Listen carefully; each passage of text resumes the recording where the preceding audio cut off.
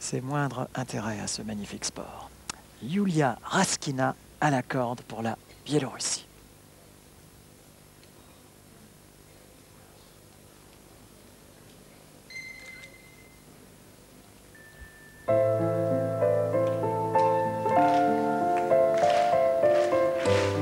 Alors ça, c'est un thème musical qu'on entend davantage sur les stades de, de football, oui, qu'en gymnastique rythmique, mais nous nous y ferons bien volontiers.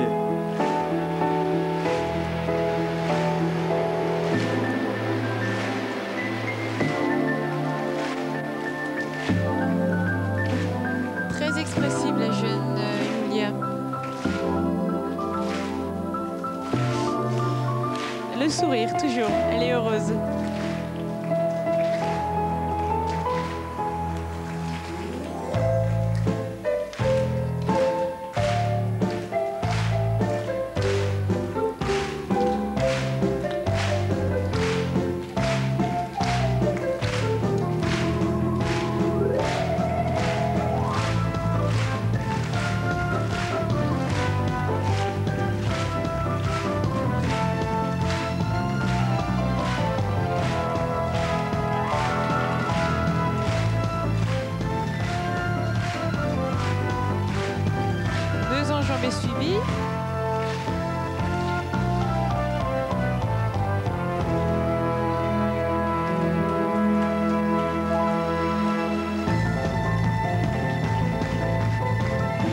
Ah, superbe finale. Ah oui, très, très bien. difficulté là. hein. Oui, très très très grande difficulté technique. Et alors beaucoup de personnalité, nous le disions à l'instant, chez. Yulia.